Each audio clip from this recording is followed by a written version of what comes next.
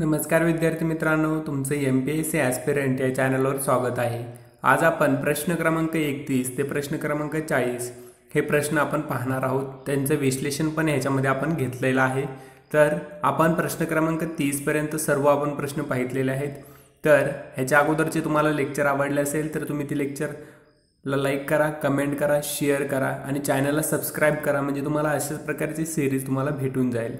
तर हा आहे प्रश्न क्रमांक एकतीस. खालील विधानांपैकी अचूक विधान निवडा. तर ह्याच्यामध्ये दोन विधान दिलेले आहेत. अविधान आहे सर्वोच्च न्यायालयाचे अठ्ठेचाळीसवे सरन्यायाधीश म्हणून न्यायमूर्ती शरद बोबडे यांची निवड झाली. तर ब विधान आहे न्यायसंस्थेतील सर्वोच्च पदावर विराजमान होणारे न्यायमूर्ती शरद बोबडे हे नववे महाराष्ट्रीयन व्यक्ती आहेत. तर यापैकी तुम्हाला बरोबर आन्सर निवडायचा आहे. यामध्ये ब नंबरचं म्हणजेच दोन नंबरचं ॲन्सर बरोबर आहे. ह्याच्यामधले सर्वोच्च न्यायालयाचे हे अठ्ठेचाळीसवे नसून सत्तेचाळीसवे सरन्यायाधीश म्हणून न्यायमूर्ती शरद बोबडे यांची निवड झालेली आहे. या न्यायसंस्थेतील सर्वोच्च पदावर विराजमान होणारे न्यायमूर्ती शरद बोबडे हे नववे महाराष्ट्रीयन व्यक्ती आहेत. तर ह्याचं आपण विश्लेषण पाहूया.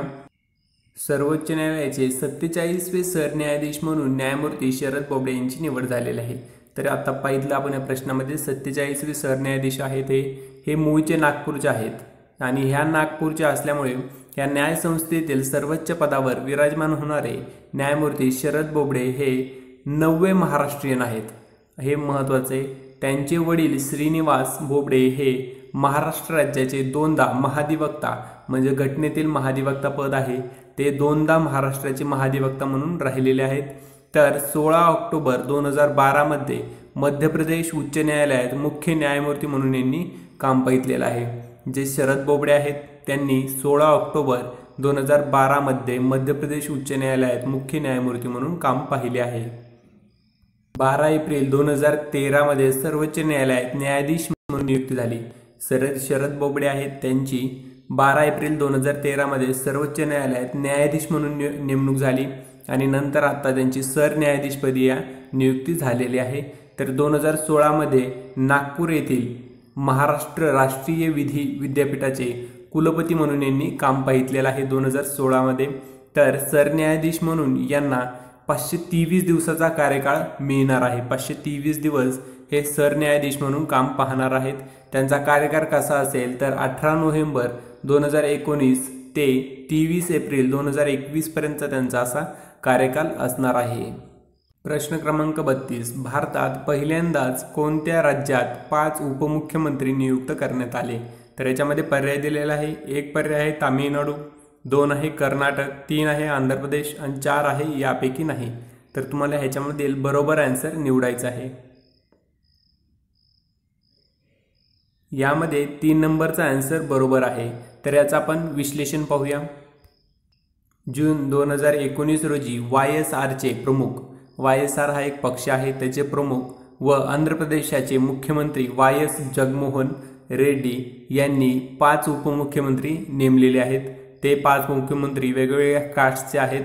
यामध्ये देशात पहिल्यांदाच एखाद्या राज्याच्या मंत्रिमंडळात पाच उपमुख्यमंत्री नेमण्यात आलेले आहेत. प देशामध्ये पहिल्यांदाच ही घटना घडलेली आहे. तर उपमुख्यमंत्रीपदाची घटनेत कसल्याही प्रकारे तरतूद देण्यात आलेली नाही. प्रश्न क्रमांक तेहतीस. देशात जलधोरण घोषित करणारे पहिले राज्य कोणते? तर याच्यामध्ये पर्याय दिले आहे. एक आहे महाराष्ट्र दोन आहे सिक्कीम तीन आहे मिझोराम आणि चार नंबरचा पर्याय आहे मेघालय. यामध्ये तुम्हाला बरोबर पर्याय निवडायचा आहे. यामध्ये चार नंबरचा पर्याय बरोबर आहे. तर हे मेघालय राज्यामध्ये राज्याने जलधरण घोषित केलेलं आहे. तर ह्याचं आपण सविस्तर विश्लेषण पाहूया. विश्लेषण जर पाहितलं आपण तर मेघालय सरकारने ऑगस्ट दोन हजार एकोणीस रोजी जलधरण घोषित केलेलं आहे. तर अशा प्रकारे जलधरण घोषित करणारे मेघालय हे आपल्या देशातील पहिलेच राज्य ठरलेलं आहे. या धोरणात जलविषयक समस्या जलविषयक ज्या समस्या आहेत. जलसंवर्धन नंतर जलस्रोतांचे संरक्षण जलसंवर्धन कशा प्रकारे करता येईल त्या संबंधित माहिती नंतर जलस्रोतांचे संरक्षण कशा प्रकारे करता येईल या सर्व गोष्टींचा ह्या जलधोरणामध्ये समावेश आहे. प्रश्न क्रमांक चौतीस.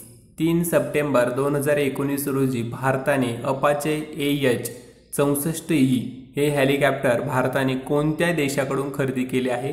तर याच्यामध्ये पर्याय दिलेले आहेत. एक आहे अमेरिका दोन आहे रशिया तीन आहे फ्रान्स आणि चार आहे यापैकी नाही. तर तुम्हाला ह्यापैकी बरोबर आन्सर निवडायचा आहे. यामध्ये बरोबर आन्सर आहे अमेरिका. तर मी तुम्हाला हा फक्त प्रश्न दिलेला आहे याचं विश्लेषण दिलेलं नाही ह्यामध्ये दुसऱ्या गोष्टी विचारल्या जाणार नाहीत. फक्त हीच गोष्ट महत्त्वाची आहे की कोणत्या देशाकडून हे खरेदी केलेलं आहे. प्रश्न क्रमांक पस्तीस. खालील विधानांपैकी चूक विधान निवडायचं आहे. यामध्ये अविधान दिलं आहे दामिनी ॲप आपत्कालीन परिस्थितीत महिलांना मदत म्हणून तयार करण्यात आलेला आहे. तर ब विधान दिले आहे. सी व्हिजिल ॲप नागरिकांना आचारसंहिता भंगाच्या तक्रारी ऑनलाईन दाखल करण्याकरिता या ॲपची निर्मिती करण्यात आलेली आहे. तर ह्यामध्ये तुम्हाला पर्याय क्रमांक एक असे पर्याय दिलेले आहेत. त्या पर्यायामधून तुम्हाला बरोबर चूक पर्याय निवडायचा आहे. बरोबर नसून तर चूक पर्याय याच्यामध्ये निवडायचा आहे. यामध्ये चुकीचा पर्याय आहे. एक नंबरचा. अ आन्सर याच्यामध्ये चुकीचं आहे. ह्याचे आपण विश्लेषण पाहूया. म्हणजे तुम्हाला याचं उत्तर चांगल्या प्रकारे समजून येईल. मिनी ॲप हे कशाशी संबंधित आहे? ते महिलांशी संबंधित नसून हवामानाशी निगडीत सर्व अपडेट नागरिकांना मोबाईलवर मिळावेत यासाठी हे ॲपची निर्मिती करण्यात आलेली आहे. तर सिव्हिजेल ॲप सिव्हिजेल ॲप हे बरोबर त्यामध्ये दिलेलं होतं. त्याच्यामध्ये हे नागरिकांना आचारसंहिता भंगाच्या तक्रारी ऑनलाईन दाखल करता येण्याकरिता ह्या ॲपची निर्मिती करण्यात आलेली आहे. प्रश्न क्रमांक छत्तीस. खालील युद्ध सरावाशी संबंधित जोड्यांपैकी असत्य जोडी ओळखा. म्हणजे चुकीची जोडी याच्यामध्ये तुम्हाला ओळखायची आहे. अ दिला आहे. हँड इन हँड भारत चीन यांच्यामध्ये झाला. तर को कोकण भारत व अमेरिका यांच्यामध्ये हा युद्ध सराव झाला. तर क विधान दिला आहे. कोप इंडिया हा भारत व ब्रिटन यांच्यामध्ये हा युद्ध सराव झाला. ह्याच्यामध्ये तुम्हाला चुकीचं म्हणजे असत्य विधान निवडायचं आहे. यामध्ये दोन नंबरचा पर्याय बरोबर आहे. हे दोन्ही ब हे असत्य आहे आणि क पण असत्य हे विधान आहे. तर कोकण हा युद्ध सराव भारत व ब्रिटनमध्ये झालेला आहे. म्हणजे त्याचा मी खाली घेतलेला आहे. कोकणचं भारत व ब्रिटन यांच्यामध्ये झाला आहे. तर कोप इंडिया भारत व अमेरिका यांच्यामध्ये हा युद्ध सराव झालेला आहे. तर तुम्हाला युद्ध सराव हे पाठ करून ठेवा. तुम्हाला कंबाईनला ह्याच्यावर प्रश्न येऊ शकतो. राज्यसेवेमध्ये याच्यावर प्रश्न येऊ शकत नाही परंतु कंबाईनमध्ये फिक्समध्ये याच्यावर प्रश्न येतातच. त्यामुळे हा युद्ध सराव जेवढे आहेत तेवढे पाठ करा. जर तुम्हाला पाठ होत नसेल तर मला कमेंट बॉक्समध्ये सांगा. मी तुमच्यासाठी ह्याच्यासाठी एक व्हिडिओ पण तयार करू शकतो. त्यामुळे तुम्ही हे युद्ध सराव नक्कीच पाठ करा. अन अकॅडमी तुमच्यासाठी घेऊन येत आहे एकलव्य बॅच. ह्या बॅचमध्ये तुम्हाला एम पी एस सी राज्यसेवा प्रेलिम्स दोन हजार वीस ह्याच्यासाठी जे पी वाय क्यूज आहे बॅच आहे ही ह्याच्या अगोदर जे राज्यसेवेचे प्रश्न झालेले आहेत ते प्रश्न ह्या बॅचेसमध्ये तुम्हाला विश्लेषणासहित समजून सांगितले जाणार आहेत. त्यामुळे तुमचा कमी वेळेमध्ये सिलेबस कवर होणार आहे. त्यामुळे हे क्लास लवकरात लवकर जॉईन करा. तुम्ही जर M P S C subscription यांचं विकत घेतलं तर अनअकॅडमीच्या एम पी एस सी संबंधित जेवढ्या बॅचेस आहेत त्यांचे तुम्हाला सगळे लेक्चर ह्याच्यामध्ये पाहता येणार आहेत. जर तुम्हाला हे लेक्चर बॅचेस हे सबस्क्रिप्शन विकत न घ्यायचं असेल तरी तुम्हाला काही लेक्चर्स पाहता येणार आहेत. त्यामुळे तुम्हाला अनअकॅडमी लर्निंग ॲप डाउनलोड करावे लागेल. तर ह्याच्यामध्ये तुम्हाला तुम्हाला एक मंथचं जर तुम्ही सबस्क्रिप्शन घेतलं तर चौदाशे रुपये पे करावे लागणार आहेत. जर तीन मंथचं घेतलं तुम्हाला तर सतरा टक्के ऑफ आहे आणि साडेतीन हजार रुपये तुम्हाला पे करावे लागणार आहेत. जर सहा मंथचं सबस्क्रिप्शन घेतलं तर तेहतीस टक्के ऑफ आहे. पाच हजार सहाशे रुपये तुम्हाला पे करावे लागणार आहेत. जर बारा मंथचं घेतलं तर तुम्हाला अठ्ठावन्न टक्के ऑफ आहे. सात हजार रुपये तुम्हाला पे करावे लागतील. जर चोवीस मंथचं सबस्क्रिप्शन घेतलं तर तुम्हाला पंच्याहत्तर टक्के ऑफ आहे आणि आठ हजार चारशे रुपये तुम्हाला पे करावे लागतील. चोवीस महिन्यामध्ये तुम्हाला अनएकॅडमीचे एम पी सीचे जेवढे बॅचेस आहेत ते सर्व लेक्चर्स तुम्हाला लाईव्ह पाहता येणार आहेत. त्याच्यामध्ये तुम्हाला प्री सेमिनार आहेत त्याच्यामध्ये पी वाय क्यूज घेतले जाणार आहेत. तुम्हाला प्रत्येक नोट्स मराठीमध्ये दिल्या जाणार आहेत.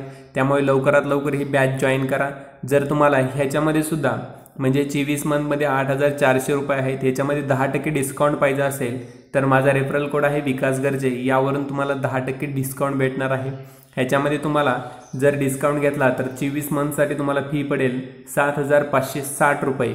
एवढीच तुम्हाला फी पडणार आहे. तुम्हाला बाकी क्लासेसमध्ये खूप सारी फी आहे त्यामुळे लवकरात लवकर हे क्लास जॉईन करा. ह्याच्यामध्ये तुम्हाला एक मंथ जर विश्लेषण केलं तुम्ही म्हणजे विभाजन केलं तर तुम्हाला तीनशे पंधरा रुपये पर मंथ एवढीच तुम्हाला फी पडणार आहे. दिवसाचं विभाजन केलं तर तुम्हाला साडे दहा रुपये पर डे एवढीच तुम्हाला फी पडणार आहे.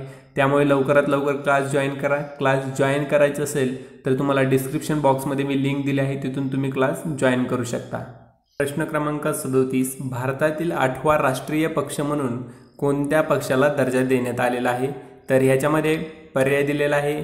तुम्हाला या पर्यायामध्ये बरोबर पर्याय निवडायचा आहे. यामध्ये चार नंबरचा पर्याय बरोबर आहे तर ह्याचं आपण विश्लेषण पाहूया. सात जून दोन हजार एकोणीस रोजी भारतीय निवडणूक आयोगाने नॅशनल पीपल्स पार्टीला म्हणजेच एन पी पी राष्ट्रीय पक्षाचा दर्जा देण्यात आलेला आहे. तर राष्ट्रीय पक्षाचा दर्जा मिळालेला ईशान्य भारतातील हा पहिलाच पक्ष आहे. ईशान्य भारतामधील हा पहिलाच पक्ष आहे की त्याला राष्ट्रीय पक्षाचा दर्जा मिळालेला आहे. या पक्षाने चार राज्यात का म्हणजे राज्य पक्षाचा दर्जा प्राप्त केलेला आहे. त्याच्यामध्ये आहे मणिपूर मेघालय नागालँड आणि अरुणाचल प्रदेश या चार राज्यांमध्ये यांनी राज्य पक्षाचा दर्जाला भेटलेला आहे. त्याच्यानंतरच त्याला राष्ट्रीय पक्षाचा दर्जा मिळालेला आहे. तर याची स्थापना कधी झालेली आहे? तर नऊ जानेवारी दोन हजार तेरा रोजी ह्या पक्षाची स्थापना झालेली आहे. तर पक्षाची स्थापना दिवंगत पूर्ण आगीतोक संगमा म्हणजेच पी ए संगमा यांनी ह्या पक्षाची स्थापना केलेली आहे. तर ह्याच्यामध्ये सध्या या पक्षाचे प्रमुख म्हणून मेघालय मुख्यमंत्री Conrad K Sangma P A संगमांचा हा मुलगा आहे. तर हे सध्या या पक्षाचे प्रमुख आहे. तर या पक्षाचं बो चिन्ह आहे पुस्तक. पुस्तक ह्या पक्षाचं चिन्ह आहे. तर अशा प्रकारे ह्याचं हे प्र प्रश्नाचं विश्लेषण आहे. प्रश्न क्रमांक अडोतीस. खालील विधानांपैकी बिनचूक विधान निवडायचं आहे. म्हणजे बरोबर विधान याच्यामध्ये निवडायचं आहे. तर याच्यामध्ये अ दिला आहे. त्र्याण्णवे अखिल भारतीय मराठी साहित्य संमेलन दोन हजार वीस रोजी नांदेड या ठिकाणी पार पडले. ब विधान आहे फ्रान्सिस दिब्रिटो. हे या संमेलनाचे अध्यक्ष होते. तर तुम्हाला ह्याच्यामध्ये बिनचूक म्हणजे बरोबर विधान निवडायचं आहे. ह्याचा आन्सर दोन नंबरचा बरोबर आहे. तर ह्याच्यामध्ये फ्रान्सिस दिब्रोटे हे संमेलनाचे अध्यक्ष म्हणून यांनी काम पाहितलेलं आहे. परंतु ह्याच्यामध्ये हे अधिवेशन जे आहे म्हणजेच साहित्य संमेलन आहे ते नांदेडला न होता उस्मानाबाद या ठिकाणी झालेला आहे. तर ह्याचं आपण विश्लेषण पाहूया. त्र्याण्णवे अखिल भारतीय मराठी साहित्य संमेलन दोन हजार वीस. हे दहा ते बारा जानेवारी दोन हजार वीस रोजी पार पडले. ते उस्मानाबाद या ठिकाणी पार पडलेलं आहे. तर याच्यामध्ये फ्रान्सिस दिब्रिटो ह्या संमेलनाचे अध्यक्ष म्हणून यांनी काम पाहितलेलं आहे. तर यांच्या ज्या कादंबऱ्या वगैरे आहेत त्या सर्व तुम्ही पाठ करून ठेवा. याच्यावर कंबाईनला व राज्यसेवेला प्रश्न येऊ शकतो म्हणून हा मी प्रश्न घेतलेला आहे. तर याच्यामध्ये मराठवाड्यात होणारे हे सातवे संमेलन आहे. मराठवाड्यात होणारे हे सातवे संमेलन आहे. प्रश्न एकोणचाळीस भारतीय हवाई दलातील पहिल्या महिला हवाई अभियंता कोण आहेत? तर ह्याच्या अगोदर मिग एकवीस हे विमान जे चालवलं होतं महिलेने त्याच्याशी संबंधित प्रश्न वि विचारला गेला होता. त्या महिलेचं नाव विचारण्यात आलं होतं. तर अशाच प्रकारे हा सुद्धा प्रश्न विचारला जाऊ शकतो कंबाईनला. त्यामुळे हा मी प्रश्न घेतलेला आहे. तर भारतीय हवाई दलातील पहिल्या महिला हवाई अभियंता कोण आहेत असा हा प्रश्न आहे. तर याच्यामध्ये पर्याय दिलेले आहेत तुम्हाला. ह्याच्यामध्ये बरोबर पर्याय तुम्हाला निवडायचा आहे. यामध्ये तीन नंबरचा पर्याय बरोबर आहे. तर हिना जैस्वाल ह्या पहिल्या हवा महिला हवाई अभियंता म्हणून आहेत. तर अशा प्रकारे ह्याचं एक विश्लेषण मी दिलेलं नाही परंतु तुम्हाला एवढंच नाव खूप महत्त्वाचं आहे. त्यामुळे हा प्रश्नामध्ये हिना जैस्वाल ह्या पहिल्या महिला हवाई अभियंता आहेत. प्रश्न क्रमांक चाळीस खालील विधानांपैकी चूक विधान निवडा. तर याच्यामध्ये अविधान दिलं आहे केंद्र सरकारने आशियातील सर्वात लांब बोगदा म्हणून ओळखल्या जाणारे चेनानी नाशेरी बोगद्यास पंडित दीनदयाल उपाध्याय हे नाव देण्यात आलं. तर याच्यामध्ये ब विधान आहे हा बोगदा राष्ट्रीय महामार्ग पंचेचाळीसवर आहे. तर अशा प्रकारे ह्याच्यामधील चूक विधान तुम्हाला निवडायचे आहेत. ह्याच्यामध्ये खाली पर्याय दिलेले आहेत. त्यापैकी विधान तुम्ही निवडा. यामध्ये चार नंबरचा पर्याय बरोबर आहे. तर ह्याच्यामध्ये वरीलपैकी सर्व विधान याच्यामधले चूक आहेत. तर याचं विश्लेषण आपण पाहूया. केंद्र सरकारने आशियातील सर्वात लांब बोगदा म्हणून ओळखल्या जाणाऱ्या जेनानी नाशेरी बोगद्यास श्यामाप्रसाद मुखर्जी. श्यामाप्रसाद मुखर्जी हे नाव देण्यात आलेलं आहे. तर हा बोगदा राष्ट्रीय महामार्ग पंचेचाळीसवर नसून हा चव्वेचाळीसवर आहे. तर या बोगद्याच्या लांबी किती आहे? तर नऊ पॉईंट दोन किलोमीटर एवढी ह्या बोगद्याची लांबी आहे. या बोगद्याचे उद्घाटन दोन हजार सतरामध्ये झाले. परंतु ह्याचं नामकरण आत्ता दोन हजार एकोणीसमध्ये झालेलं आहे. तर याचं उद्घाटन पंतप्रधान नरेंद्र मोदी यांनी यांचं उद्घाटन केलेलं आहे. आशा आहे तुम्हाला मी हे प्रश्न क्रमांक एकतीस ते प्रश्न क्रमांक चाळीस आवडले असतील. जर आवडले असतील तर व्हिडिओला लाईक करा कमेंट करा शेअर करा आणि चॅनलला सबस्क्राईब करायला विसरू नका. म्हणजे माझ्या प्रत्येक प्रश्नाची तुम्हाला अपडेट भेटत राहील.